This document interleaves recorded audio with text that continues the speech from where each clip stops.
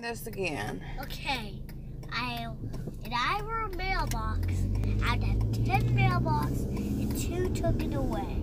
Two taken away. So Yes. that is how many? One more hold up than 10 fingers. Hold up 10 fingers. And then take two away. Put two fingers down. And how many is that? Count the fingers now. One, two, three, four, five, six. No, keep going. Count the other hand. Seven, eight. Seven, eight. So That there's, equals eight. so there's eight mailboxes left.